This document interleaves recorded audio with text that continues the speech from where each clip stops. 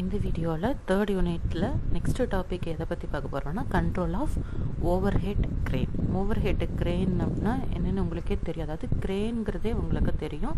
Some வெயிட்டை வந்து என்னது? லிஃப்ட் பண்ணுறதுக்கு நம்ம கிரெயின் மிஷின்ஸ் எல்லாம் பார்த்துருப்போம். நம்மளோட கன்ஸ்ட்ரக்ஷன் சைட்ஸில் எல்லாம் நம்ம பார்த்துருப்போம். கிரெயின் வந்து என்னென்னா சம் வெயிட்டை வந்து என்னது? ஒரு இடத்துலேருந்து இன்னொரு இடத்துக்கு தூக்கி தூக்கி போடும். ஸோ கிரெயின்ங்கிறது வந்து என்னது? அது மொத்தம் மூணு மூமெண்ட்டில் பண்ணோம்.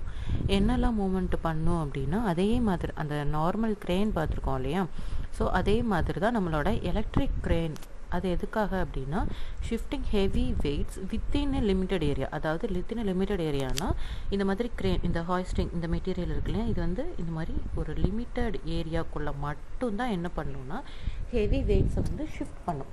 நம்மளோட overhead crane overhead crane ஏன் சொல்கிறோம் அப்படின்னா இண்டஸ்ட்ரி சைட்ஸில் இந்த தலைக்கு மேலே வந்து அந்த கிரெயின் வந்து மூவ் ஆகிட்டு இருக்க மாதிரி ஃபிக்ஸ் பண்ணியிருப்பாங்க ஸோ அதை வந்து என்ன சொல்கிறோன்னா ஓவர் ஹெட் கிரெயின்ஸ்னு சொல்கிறோம் இது என்ன பண்ணுது? ஹெவி வெயிட்ஸை வந்து ஷிஃப்ட் பண்ணுது. ஆனால் லிமிட்டட் ஏரியா இந்த மாதிரி அதோட லிமிட்டட் ஏரியாக்குள்ளே மட்டும்தான் என்ன பண்ணும்? ஷிஃப்ட் பண்ணும் ஸோ இதை தாண்டி போகுது. ஏன்னா இந்த இதுதான் கிரெயின் சிஸ்டம் உள்ள ஒரு எல்லோ கலர் தெரியுது இல்லையா? இதுதான் கிரெயின் சிஸ்டம் ஸோ இந்த கிரெயின் சிஸ்டம் இந்த ஏரியா வந்து டிசைட் பண்ணுறது எது அப்படின்னா long travel motion cross travel motion அப்படின்னு என்னென்னா லாங் ட்ராவல் எவ்வளோ தூரத்தில் போகணும்? லெஃப்டா ரைட்டா அதெல்லாம் ஃபிக்ஸ் பண்ணி தான் அந்த ஏரியாவை வந்து என்ன பண்ணியிருப்பாங்க ஃபிக்ஸ் பண்ணியிருப்பாங்க அதே சமயம் இது எதுக்காக யூஸ் பண்ணுவாங்க அப்படின்னா ஹாய்ஸ்டிங்க்கு அதாவது பொதுவாக இந்த கிரேனை எதுக்கெல்லாம் யூஸ் பண்ணுவாங்கன்னா அப்வேர்டு டவுன்வேர்டு மோஷன் அதுதான் வந்து என்னது? ஹாய்ஸ்டிங் அதே மாதிரி ரைட் அண்ட் லெஃப்ட் இந்த சைடும் ரைட் சைடும் லெஃப்ட் சைடும் மூவ் ஆகிறதுக்கு யூஸ் பண்ணுவாங்க. ஸோ இந்த மாதிரி ப்ராசஸ்க்கு தான் எதை யூஸ் பண்ணுறாங்கன்னா எலக்ட்ரிக் ட்ரெயின் இண்டஸ்ட்ரி சைட்ஸில் சம் வெயிட்ஸை வந்து இங்கேருந்து இங்கே கொண்டு போய் போடுறதுக்கும் கீழேருந்து தூக்கிட்டு போய் மேலே வைக்கிறதுக்கும் இந்த க்ரெயின்ஸ் வந்து யூஸ் பண்ணுறாங்க ஸோ இந்த க்ரெயினுக்கு வந்து என்னென்னா ஹை ஸ்டார்டிங் டார்க் வேணும். ஸோ ஹை ஸ்டார்டிங் டார்க்கு வேணும் அப்படின்னாலே நம்ம அப்போ அதில் என்ன மோட்டர் தான் யூஸ் பண்ணணும் அப்படின்னா ஸ்லிப்பிங் இண்டக்ஷன் மோட்டார் ஏன்னா நம்ம செகண்ட் யூனிட்லேயே பார்த்துருப்போம் ரெண்டுத்தோட squirrel cage and slip ring மோட்டார்ஸை பற்றி பார்த்ததில் ஃபஸ்ட் ஹாஃப் வந்து ஸ்குரில் கேஜ் இண்டக்ஷன் மோட்டரை பற்றி பார்த்தோம். செகண்ட் ஹாஃபில் வந்து ஸ்லிப்பரிங் இண்டக்ஷன் மோட்டார்ஸை பற்றி பார்த்தோம். ஸ்லிப்பரிங் இண்டக்ஷன் மோட்டார்ஸில் வந்து என்னென்னா ஹை ஸ்டார்டிங் டார்க் வேணும். அதே சமயம் ஸ்குரில் கேஜில் வந்து என்னென்னா லோ ஸ்டார்டிங் டார்க் வேணும். ஸோ ஸ்லிப்பரிங்கை இப்போ நமக்கு ஹை ஸ்டார்டிங் டார்க் ஒரு இடத்துல வேணும்னா அப்போ நம்ம எந்த இடத்து அந்த இடத்துல யூஸ் பண்ண போகிற மோட்டர் வந்து ஸ்லிப்பரிங் இண்டக்ஷன் மோட்டர்ஸ் ஓகேவா ஸோ எலக்ட்ரிக் கிரேனுங்கிறது வந்து எதுக்காக அப்படின்னா ஒரு ஹெவி ஹெவி வெயிட்ஸ் வந்து நம்மளால் மேனுவலாக தூக்க முடியாத வெயிட்ஸை வந்து ஒரு இடத்துக்கு ஷிஃப்ட் பண்ணுறதுக்காக யூஸ் பண்ணுறது தான் கிரெயின் இண்டஸ்ட்ரி சைட்ஸில் லோடெல்லாம் கொண்டு போய் ஷிஃப்ட் பண்ணுறதுக்கு ஆனால் அதை வந்து என்ன பண்ண முடியும்? சம் லிமிட்டட் ஏரியா நம்ம அது அதோட ஏரியாவை எதுக்குள்ளே அதோட ஸ்பேனை நம்ம எதுக்குள்ளே ஃபிக்ஸ் பண்ணியிருக்கோமோ அது வரைக்கும் வந்து அது வந்து என்ன பண்ணும்? மூவ் பண்ணும். அப்வர்ட் அண்ட் டவுன்வர்டு மோஷன் பண்ணும். அதே சமயம் ரைட் அண்ட் லெஃப்ட்டில் மூவ் ஆகும். அதாவது கீழேருந்து மேலே தூக்கி வைக்கும். அதே சமயம் என்னது லெஃப்ட் சைடில் இந்த பக்கம் இருக்கிறத அனதர் சைடில் மாற்றி வைக்கும். ஸோ அதுக்கு தான் நம்ம என்னது எலக்ட்ரிக் க்ரேனை யூஸ் பண்ணுறோம் ஸோ எலக்ட்ரிக் க்ரேனுக்கு வந்து என்ன முக்கியமான இதுனா ஹை ஸ்டார்டிங் டார்க் வேணும். ஸோ அப்போ அதுக்கு ஹை ஸ்டார்டிங் டார்க் வேணும் அப்படின்னா அதில் நம்ம யூஸ் பண்ண போகிற மோட்டர் வந்து ஸ்லிப்பரிங் இண்டக்ஷன் மோட்டர் ஓகேவா இதுதான் வந்து அதோட கண்ட்ரோல் சர்க்கியூட்டு கண்ட்ரோல் சர்க்கியூட்டை பார்த்தீங்கன்னா என்னெல்லாம் இருக்குதுன்னு பாருங்கள் நம்மளோட ஆன் புஷ் பட்டன் இது ஆஃப் புஷ் பட்டன் இந்த ஹாய்ஸ்ட்டு இது வந்து என்னதுன்னா லாங் லாங் ட்ராவல் பார்த்தோம் இல்லையா? அதுக்கு இது வந்து என்னது? கிராஸ் ட்ராவலுக்கு அப் லிமிட் ஸ்விட்ச் டவுன் லிமிட் ஸ்விட்ச் இப்போ இதில் மொத்தம் மூணு ப்ராசஸ் இருக்குது லாங் ட்ராவல் அதாவது எவ்வளோ தூரம் போகணுங்கிறதுக்கு எவ்வளோ தூரம் வேணாலும் எடுத்து அதை ஷிஃப்ட் பண்ணுறதுக்கு கிராஸ் ட்ராவல்னால் ரைட் அண்ட் லெஃப்ட் மூவ் இந்த ஹாய்ஸ்ட்டுங்கிறது வந்து என்னது? தூக்குறது. கீழேருந்து மேலே தூக்குறது. ஸோ மொத்தம் மூணு ப்ராசஸ் வந்து நம்ம இந்த க்ரேனை யூஸ் பண்ணி பண்ணலாம். அதில் நம்ம எதை பார்க்க போகிறோம் அப்படின்னா இந்த ஹாய்ஸ்டிங் ப்ராசஸ் தான் பார்க்க போகிறோம் ஹாய்ஸ்டிங்கிறது வந்து என்னது? கீழேருந்து மேலே தூக்குறது. அதே மாதிரி மேலே இருக்க பொருளை கீழே இறக்கிறது. ஸோ இந்த மூணு ப்ராசஸ் வந்து க்ரேனை வச்சு பண்ணலாம். அதில் நம்ம இன்றைக்கி இந்த சர்க்கியூட்டில் எதை காட்டுறாங்க அப்படின்னா ஹாய்ஸ்டிங் ப்ராசஸை பற்றி தான் இதெல்லாம் பார்க்க போகிறோம் இதுக்கு இதுக்கு முன்னாடி க்ரேனுங்கிறது எப்படி இருக்கும்னா ஸோ இதுதான் கிரேன் நம்மளோட ஓப்பன் சர்க்கியூட்டில் கொடுத்துருக்கேன் இல்லையா? இதுதான் கிரேனு இதில் இந்த இது இருக்குது இல்லையா? இதுதான் வந்து லிஃப்டிங்க்கு யூஸ் பண்ணுறது இந்த ஹூக் வச்சு தான் என்ன பண்ணுவாங்க? தூக்குவாங்க. இதே இதை வந்து என்னது? இந்த பக்கம் மூவ் பண்ணலாம். இந்த பக்கமும் மூவ் பண்ணலாம். ஸோ இந்த மாதிரி ப்ராசஸ் எல்லாம் க்ரெயினை வச்சு யூஸ் பண்ணலாம். இந்த ஹூக்கை வச்சு கீழே தூக்கலாம் மேலே தூக்கலாம். ஸோ இதில் தான் என்ன பண்ண போகிறோம் அப்படின்னா இல்லை ஹாய்ஸ்டிங்கை பற்றி மட்டும் பார்க்க போகிறோம் ஸோ அந்த ஹாய்ஸ்டிங் பொதுவாக கிரேனுங்கிறதே வந்து அந்த அதை ஆப்ரேட் பண்ணுறதுக்கு நமக்கு லெவர் இந்த மாதிரி இருக்கும். லெவர் இதுக்கு பேர் என்னன்னா லெவர்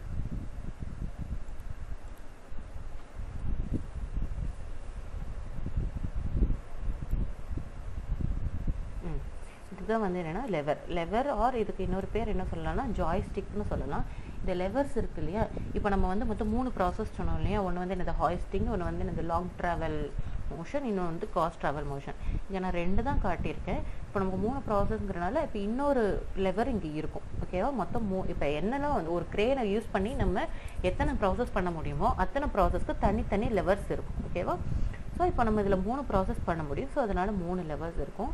இதில் நம்ம வந்து என்னதுன்னா ஹாய்ஸ்டிங் பண்ண போகிறோம் இல்லையா? Upward motion and downward motion பண்ண போகிறோம் இல்லையா ஹாய்ஸ்டிங்க்கு இப்போ இந்த லெவர் இருக்கு இல்லையா இதில் மொத்தம் என்னென்னா நாலு கீர் இப்போ நம்ம வண்டியிலலாம் கீர் போடுறோம் இல்லையா? First gear second gear third gear fourth gear அந்த மாதிரி போடுறோம்ல. ஸோ இந்த மாதிரி நார்மலாக ஸ்ட்ரைட் பொசிஷனில் இருந்துச்சுன்னா இதுக்கு பேர் வந்து என்னென்னா நியூட்ரல் இந்த நியூட்ரல் நம்ம என்ன சொல்லுவோம்னா ஜீரோன்னு சொல்லுவோம். ஸோ இந்த பக்கம் மூவ் பண்ணுனா வந்து என்னது? இது வந்து ரைட் ஃபார்வர்ட் டைரக்ஷன் ஓகேவா ஃபார்வர்ட் இந்த சைடு இது பண்ணால் வந்து என்னது? ரிவர்ஸ் ஓகேவா ஸோ ஃபார்வேர்டுக்கும் மொத்தம் நாலு கீர் இருக்கும். First position second position third position fourth position ஓகேவா அதே மாதிரி தான் ரிவர்ஸ்க்கும் இருக்கும். First position second position third position fourth position பொதுவாகவே நமக்கு மோட்டார் வந்து என்னாகும்? சர்க்குலர் மோஷனில் தானே சுற்றும் அதை தான் நம்ம என்ன பண்ண போகிறோம் அப்படின்னா நம்மளோடது நம்ம ஃபார்வேர்டு அண்ட் ரிவர்ஸ் டைரக்ஷனுக்கு ஃபஸ்ட் இதெல்லாம் நம்ம ரொட்டேஷன் ஆஃப் டைரக்ஷனை மாற்றணும் இல்லையா? அதே மாதிரி தான். இதில் வந்து என்னது ஃபார்வேர்டுனா இந்த position first position second position third position fourth position ஒவ்வொரு பொசிஷன்லையும் மாற்றும் போதும் அதோட இது வந்து என்னது பொசிஷன் மாறிக்கிட்டே இருக்கும். அதே மாதிரி ரிவர்ஸ் ஓகேவா ஸோ இதில் மொத்தம் அந்த ஸ்ட்ரைட் பொசிஷனில் இருந்துச்சுன்னா அது வந்து என்ன சொல்லுவோம்னா நியூட்ரல்னு சொல்லுவோம். ஸோ இந்த ப்ராசஸ்க்கு நம்ம எதை யூஸ் பண்ண போகிறோம்னா இந்த ரோட்டார் ரெசிஸ்டன்ஸ் மெத்தடை யூஸ் பண்ண போகிறோம் ஏன்னா ஸ்லிப்பரிங் இண்டக்ஷன் மோட்டாரில் தான் நம்ம பார்த்தோம். எக்ஸ்டர்னலாக வந்து என்னது? ரெசிஸ்டன்ஸை வந்து கனெக்ட் பண்ண முடியும். ஓகேவா ரெசிஸ்டன்ஸை கனெக்ட் பண்ண முடியும். ஸோ இதில் நம்ம என்ன பார்த்தோம் அப்படின்னா லோ ஸ்பீடில் ரன் ஆகும்போது மூணு ரெசிஸ்டன்ஸுமே இருக்கும். அடுத்து ஸ்பீடு குறைய கூட கூட ஒவ்வொரு ரெசிஸ்டன்ஸாக கட்டாயி கட்டாயி நமக்கு வந்து என்னது? ஃபுல் ஸ்பீடு வர்றப்போ டேரெக்டாக ரோட்டருக்கு சப்ளை வரும்னு எதில் பார்த்தோன்னா ஸ்லிப்பர் இண்டக்ஷன் மோட்டாரில் ரோட்டர் ரெசிஸ்டன்ஸ் மெத்தடில் பார்த்தோம் இல்லையா?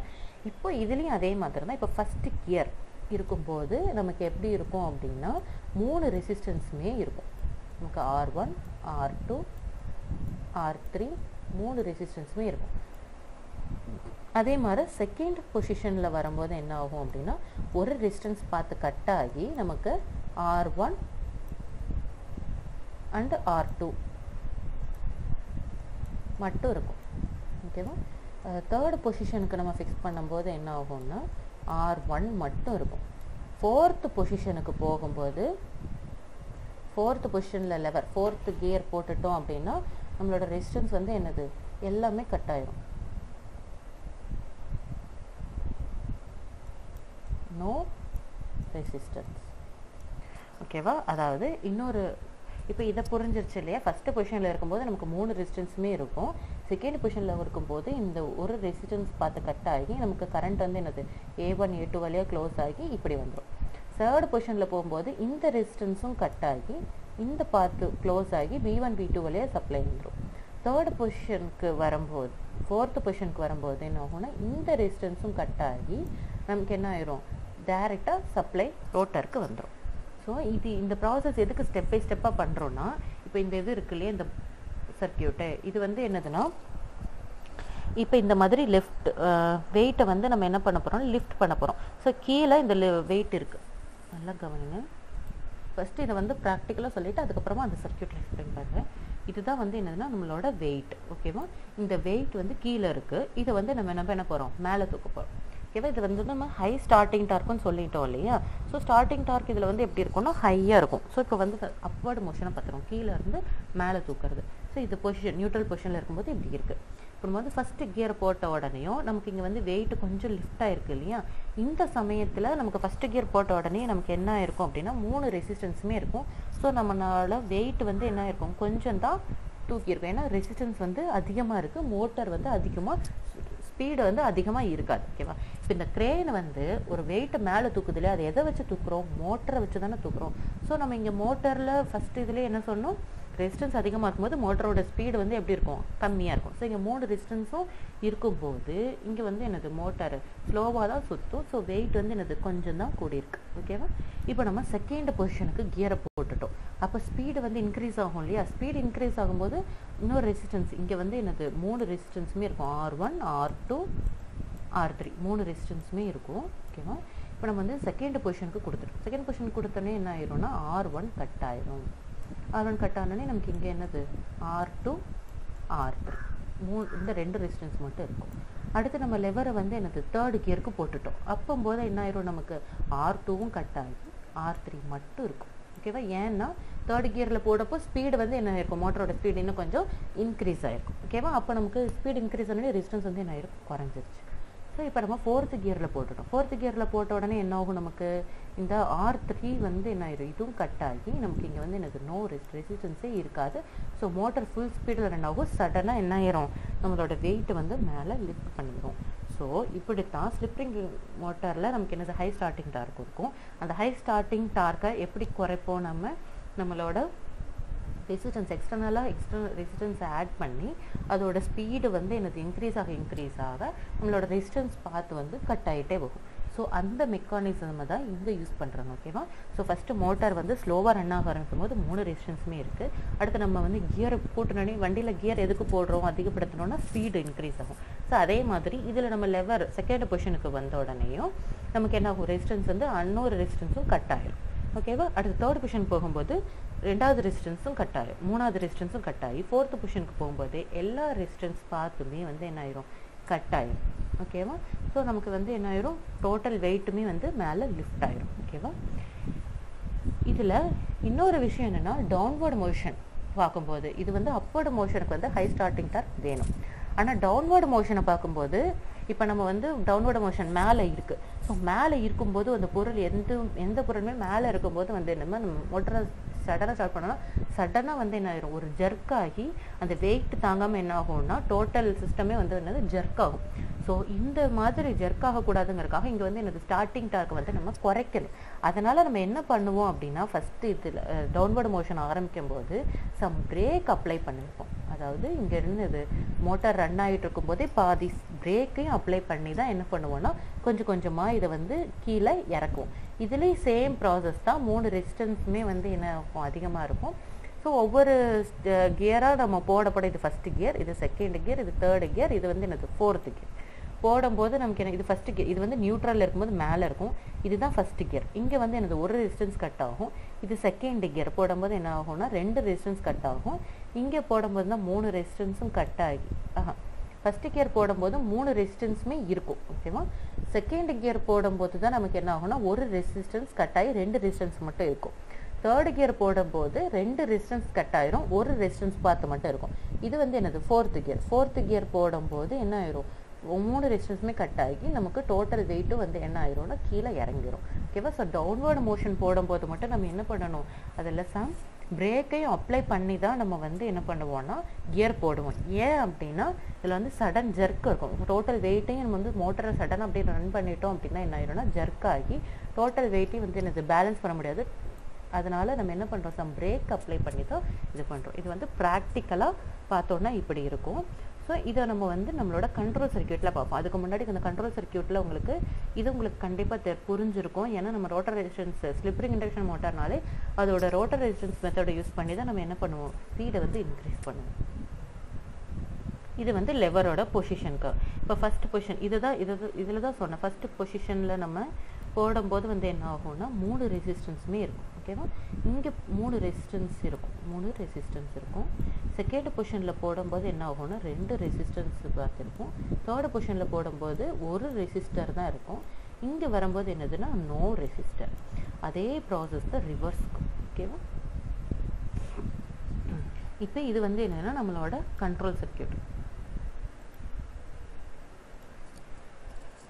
இப்போ கண்ட்ரோல் சர்க்கியூட்டில் பாருங்கள் நம்மளோடது சப்ளை வந்தோடனே ஆன் ஆஃப் புஷ் பட்டன் வழியாக வந்து இங்கே புஷ் ஸ்டார்ட் புஷ் பட்டனை ப்ரெஸ் பண்ண உடனே சப்ளை இது வழியாக க்ளோஸ் ஆகி நமக்கு இப்போ ஒன்ஸ் ஸ்க்ரேனை நம்ம வந்து ஸ்டார்ட் பண்ணணும் அப்படின்னா நம்மளோட மூணு லெவருமே வந்து என்னதுன்னா ஜீரோ அதாவது நியூட்ரல் பொசிஷனில் தான் இருக்கணும். நல்லா புரிஞ்சுக்கோங்க. மூணு லெவர் இருக்குன்னு சொன்னாலே இல்லையா? ஹாய்ஸ்ட்னா தூக்கிறது லிஃப்டிங்க்கு லாங் ட்ராவல் மோஷன் அது வந்து எதுக்காக அப்படின்னா ஃபார்வர்ட் அண்டு ரிவர்ஸ் டைரக்ஷனுக்கு அதே சிடிங்கிறது வந்து என்னது? Right and left motion so இந்த மூணோட லெவர் ஜாய்ஸ்டிக்குமே வந்து எப்படின்னா ஜீரோ நியூட்ரல் பொசிஷனில் இருந்தால் மட்டும்தான் நமக்கு என்ன ஆகும்? சப்ளை இங்கே வந்து இந்த ஸ்டார்ட் ரிலே வந்து எனர்ஜைஸ் ஆகும். ஓகேவா ஒன்ஸ் ஸ்டார்ட் ரிலே வந்து எனர்ஜைஸ் ஆயிடுச்சு அப்படின்னா அதோட sealing contact S one close ஆயிரும். ஸோ இது க்ளோஸ் ஆன உடனே சப்ளை அதோட கான்டாக்ட் ஸ்விட்ச் எஸ் டூ க்ளோஸ் ஆயிரும். ஓகேவா இந்த எஸ் டூ க்ளோஸ் ஆன உடனேயும் நமக்கு சப்ளை இது வழியாக வந்து இங்கே ஒன் அப்னா வந்து அப்போர்ட் டைரக்ஷன் இது க்ளோஸ் ஆகி நமக்கு என்ன ஆகும் two M one two M one dash இது ரெண்டும் க்ளோஸ் ஆகி ஒன் எம் அப்படின்னா என்னதுன்னா மாஸ்டர் கண்ட்ரோலர் ரிலே ஓகேவா இந்த காண்டாக்ட் பேர் என்னதுன்னா மாஸ்டர் கண்ட்ரோலர் ஓகேவா இப்போ நம்ம ரேஸ் பண்ண போகிறோம் அப்போர்டு லிமிட்ஸ் அப்போர்டுனாலே என்னதுன்னா ரேஸ் பண்ண போகிறோம் கீழே இருக்க வெயிட்டை வந்து என்ன பண்ண போகிறோம் மேலே லிஃப்ட் பண்ண போகிறோம் ஸோ நமக்கு இங்கே காண்டாக்ட்ஸ் எல்லாம் க்ளோஸ் ஆகி ஒன் எம் இது வந்து என்னது? ரேஸ் பண்ணுற காண்டாக்டர் வந்து எனர்ஜைஸ் ஆகும். ஸோ இது எனர்ஜைஸ் ஆன உடனேயும் நமக்கு என்ன ஆகும்னா ஒன் எம் த்ரீங்கிற ஃபீலிங் காண்டாக்ட் வந்து க்ளோஸ் ஆகும். ஓகேவா ஸோ ஒன் எம் த்ரீ இப்போ ஒன்னுங்கிறது வந்து என்னென்னா பொசிஷன் ஒன் ஓகேவா இப்போ நம்ம ஃபஸ்ட்டு நியூட்ரல் பொசிஷனில் இருக்குது நியூட்ரல் பொசிஷனில் இருந்தால் தான் நமக்கு ஸ்டார்ட் ரிலே அந்த காண்டாக்டர் வந்து ஆன் ஆகும். இது ஆன் ஆன உடனேயும் சீலிங் கான்டாக்ட் க்ளோஸ் ஆகி நம்மளோட காண்டாக்ட் சுவிட்ச் எஸ் டூ க்ளோஸ் ஆகி நம்ம இப்போ வந்து என்ன பண்ண போகிறோம் ஃபஸ்ட்டு பொசிஷனில் நம்ம வந்து எனது லிவரை மூவ் பண்ணிட்டோம். அந்த ஹேண்டில் பார் இருக்கும் இல்லையா? அதை வந்து என்ன பண்ண ஃபஸ்ட்டு பொசிஷன் ஃபஸ்ட்டு கியர் போட்டுட்டோம். நீங்கள் வண்டி இதுலேயே யோசிச்சு பாருங்கள் ஃபஸ்ட்டு கியர் போட்டுட்டோம் ஓகேவா ஃபஸ்ட்டு கியர் போட்ட உடனே நமக்கு என்ன ஆகும் அப்படின்னா இது வழி அந்த காண்டாக்ட்ஸ் எல்லாம் க்ளோஸ் ஆகி ஒன் எம் மாஸ்டர் கண்ட்ரோலர் ரேஸோட காண்டாக்டர் வந்து க்ளோஸ் ஆயிரும். எனர்ஜைஸ் ஆகும் ஓகேவா இது எனர்ஜைஸ் ஆனோடனே அதோட contactor one M three close ஆயிரும். ஓகேவா இது க்ளோஸ் ஆன உடனேயும் இங்கே வந்து இந்த சப்ளை இங்கே வந்து ஒன் டீங்கிறது வந்து ஆன் டிலே டைமர் டீனாலே வந்து என்னது? டைமர் நம்ம டைமர் இங்கே என்ன use பண்ணியிருக்கோம்னா on delay timer on delay timer அப்படின்னா என்னது? நம்ம எவ்வளோ டைமை வந்து அதில் ஃபிக்ஸ் பண்ணியிருக்கோமோ அந்த டைமிங் இதான உடனே அது வரைக்கும் என்ன ஆகும்? எனர்ஜைஸ் ஆகும். அது முடிச்ச உடனே தான் அதோட கான்டாக்ட் வந்து க்ளோஸ் ஆகும். ஓகேவா அதுதானே நம்மளோட ஆன் டிலே டைமர் ஸோ இங்கே நமக்கு இங்கே க்ளோஸ் ஆனோடனே இங்கே ஒரு ஒரு ப்ரீசெட் டைம் இங்கே வச்சுருப்போம் இல்லையா? இங்கே ப்ரீசெட் டைம் வந்ததுக்கு அப்புறமா தான் அதோட கான்டாக்ட் வந்து என்ன ஆகும்? க்ளோஸ் ஆகும். ஓகேவா இதோட கான்டாக்ட் க்ளோஸ் ஆகும்போது தான் நம்ம வந்து என்ன பண்ணுவோம்? இங்கே லெவர் டூ இங்கே டைம் இங்கே இதை முடிஞ்ச லெவர் டூ நம்ம லெவரை வந்து எனக்கு செகண்ட் பொசிஷனில் போடுவோம் போட்ட உடனே தான் இங்கே இருந்து சப்ளை வந்து இது வழியாக வந்து இந்த கான்டாக்ட் க்ளோஸ் ஆகி இங்கே ஆர் அதாவது ஒன் ஆருங்கிறது வந்து எனது ஃபஸ்ட் ரெசிஸ்டன்ஸ் இது வந்து எனர்ஜைஸ் ஆகும். ஓகேவா இது எனர்ஜைஸ் ஆகிட்டு இருக்கும்போது தான் நமக்கு என்னது செகண்ட் பொசிஷனில் நம்மளோட இப்போ நம்ம இதில் பார்த்தோம் இல்லையா? அதாவது செகண்ட் பொசிஷனில் போட்டோன்னே ஒரு ரெசிஸ்டர் வந்து கட் ஆகும்னு சொன்னேன் ஸோ இந்த செகண்ட் பொசிஷனில் போட்டோன்னே இந்த டைமர் இது சுவிட்ச் க்ளோஸ் ஆனோடனே இங்கே இருக்க ரெசிஸ்டன்ஸ் வந்து எனர்ஜைஸ் ஆனோடனே இங்கே ஒன் ஆர் ஒன்ங்கிறது வந்து க்ளோஸ் ஆகும். இது க்ளோஸ் ஆகும்போது தான் நமக்கு என்னது? செகண்ட் டைமர் வந்து எனர்ஜைஸ் ஆக ஆரம்பிக்கும் இல்லையா? ஸோ செகண்ட் டைமர் எனர்ஜைஸ் ஆகிற சமயத்தில் நமக்கு என்ன ஆகும்? ஆர் ஒன்ங்கிற ரிஸ் ஆர் த்ரீ அதாவது ஆர் ஒன்ங்கிற ரெசிஸ்டன்ஸ் வந்து கட் ஆகிடும் ஸோ நமக்கு செகண்ட் பொசிஷனில் போட்ட உடனேயும் இந்த டைமர் டி க்ளோஸ் ஆன உடனே நமக்கு என்ன ஆயிரும்? ஆர் ஒன்கிற ரெசிஸ்டன்ஸ் கட் ஆகி நம்மளோட செகண்ட் டைமர் வந்து எனர்ஜைஸ் ஆகிட்ருக்கும் ஸோ இதோட டைமிங் முடிஞ்சதுக்கு அப்புறமா தான் இதோட காண்டாக்ட் வந்து நமக்கு க்ளோஸ் ஆகும். இது க்ளோஸ் ஆனால் தான் நமக்கு என்ன ஆகும்? நமக்கு தேர்ட் லெவரில் போட்டு இந்த சப்ளை வந்து இங்கே வந்து டூ ஆர் இது எனர்ஜைஸ் ஆகும். டூ ஆர் எனர்ஜைஸ் ஆகும்போது என்ன ஆகும்? நம்மளோட செகண்ட் ரெசிடென்ஸ் பார்த்தும் கட் ஆகி இப்போ நமக்கு தேர்ட் பொசிஷனில் போட்ட உடனேயும் டைமர் இந்த டூ டி டைமர் எனர்ஜிஸ் ஆச்சுல இதோட டைமிங் முடிஞ்ச உடனே இது க்ளோஸ் ஆகி நம்மளோட செகண்ட் ரெஜிஸ்டருக்கு வந்து சப்ளை போகும். ஸோ செகண்ட் ரெஜிஸ்டருக்கு சப்ளை பண்ணோடனே என்ன ஆயிரும்? அதோட ரெசிஸ்டன்ஸ் பார்த்தும் கட் ஆகி நம்ம வந்து என்ன ஆயிரும் நமக்கு? நெக்ஸ்ட்டு அதோட காண்டாக்ட் ஸ்விட்சை வந்து என்ன பண்ணிடும் க்ளோஸ் பண்ணிடும் ஸோ இது க்ளோஸ் பண்ண உடனே நமக்கு என்ன ஆகும்? இந்த இதோட காண்டாக்ட் இதுக்கு சப்ளை போன உடனேயும் என்ன ஆகிரும்? இதை காண்டாக்ட்ஸ் எல்லாம் க்ளோஸ் ஆகி நமக்கு B one B two close ஆகி நமக்கு சப்ளை வந்து இது வழியாக வர ஆரம்பிச்சிடும் ஆர் த்ரீ வழியாக ரெசிஸ்டன்ஸ் வர ஆரம்பிச்சிடும் அதை தான் வந்து இங்கே சொல்கிறோம் எல்லாம் கவனிச்சுக்கோங்க. ஃபஸ்ட்டு பொசிஷனில் போட்ட உடனேயும் ஒன் எம்ங்கிற மாஸ்டர் கண்ட்ரோலர் வந்து எனர்ஜைஸ் ஆகும் ஓகேவா இது எனர்ஜைஸ் ஆன உடனே அதோட காண்டாக்ட் ஸ்விட்ச் ஒன் எம் த்ரீ க்ளோஸ் ஆயிரும். அது க்ளோஸ் ஆன உடனே சப்ளை எங்கே போகும்? நமக்கு ஒன் டி டைமருக்கு போகும் ஓகேவா அந்த டைமரில் நம்ம ஒரு ப்ரீசெட் டைம் வச்சுருப்போம் இல்லையா? அந்த டைமிங் முடிஞ்சதுக்கு அப்புறமா தான் என்ன ஆகும் நமக்கு? அதோட காண்டாக்ட் ஸ்விட்ச் வந்து க்ளோஸ் ஆகும் ஓகேவா ஸோ நம்ம லெவர் டூ வந்து நம்ம போட்டாலும் என்ன ஆகாது? இங்கே இதோட டைமிங் செட் பண்ண முடிச்சதுக்கு அப்புறமா தான் இந்த காண்டாக்ட் வந்து க்ளோஸ் ஆகும். ஸோ நம்ம லெவர் டூ போட்டாலும் இங்கே க்ளோஸ் ஆனதுக்கப்புறமா தான் சப்ளை வந்து என்னது? இங்கே ரெசிஸ்டன்ஸ்க்கு வரும். ஓகேவா ஸோ இது ஒன்ஸ் இந்த டைமிங் வந்து எதுக்கு செட் பண்ணியிருக்கோம்? நம்மளோட லிஃப்டிங் ப்ராசஸ் இவ்வளோ டைம் ஆகும் இந்த லிஃப்ட் பண்ணுறதுக்கு அது முடிஞ்சதுக்கு அப்புறமா தான் நம்ம என்ன பண்ண முடியும்? அடுத்த பொசிஷனுக்கு நம்ம மாற்ற முடியும். சடனாக நம்ம வந்து ஃபோர்த்து கியரை போட்டு வெயிட்டை தூக்கலான்னா அது முடியாது. ஏன்னா நம்ம வந்து என்னது ஒவ்வொரு ஒவ்வொரு பொசிஷனுக்கும் சம் டைமிங்கை வந்து டைமரில் செட் பண்ணியிருக்கோம்.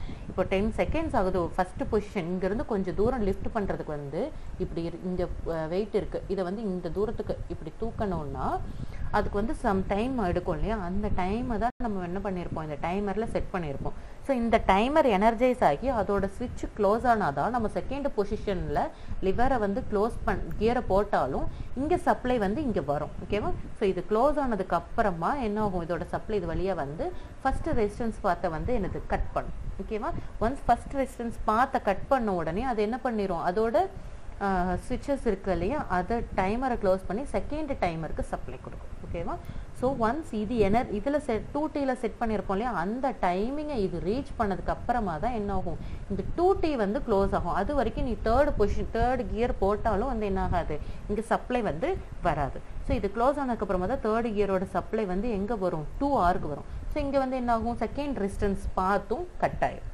ஓகேவா ஸோ செகண்ட் ரெசிஸ்டன்ஸ் பார்த்து கட் ஆன உடனேயும் அதோட ஸ்விட்சஸ் க்ளோஸ் ஆகி தேர்டு டைமருக்கு வந்து எனக்கு சப்ளை போகும்.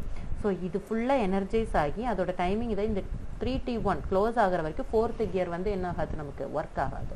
ஸோ இது க்ளோஸ் ஆனதுக்கப்புறமா தான் ஃபோர்த்து கியர் வந்து க்ளோஸ் ஆகி நமக்கு என்ன ஆகும்? த்ரீ தேர்ட் ரெசிஸ்டன்ஸ் பார்த்தீங்கன்னா கட் பண்ணும். புரியுதா? இப்போ இதை வச்சு நம்ம இந்த சர்க்கியூட்டில் பார்த்தோன்னா அதாவது ஃபஸ்ட்டு கியரில் போட்டப்போ இந்த மூணு ரெசிஸ்டன்ஸுமே இருக்கும் ஓகேவா நமக்கு செகண்ட் ரெசிஸ்டன்ஸில் செகண்ட் பொசிஷனில் போட்டதுக்கப்புறமா என்ன ஆகும் அப்படின்னா இங்கே ஒரு டைமர் இருக்கும் இல்லையா? அந்த டைமர் முடிஞ்சு இதுக்கு ஒரு இதோட டைமிங்கோட கான்டாக்ட் சுவிட்ச் க்ளோஸ் ஆனால் தான் இதுக்கு வந்து அதாவது